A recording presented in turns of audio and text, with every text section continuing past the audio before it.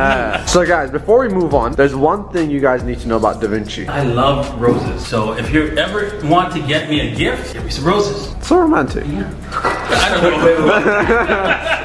I know something that you don't know about Da Vinci. He's a very humble guy. He made crazy money. You will not see any Lambos or Ferraris on the driveway. You're way too humble for that. Mm-hmm. But he has one huge weakness, except from the caviar. Dom Perignon. yes.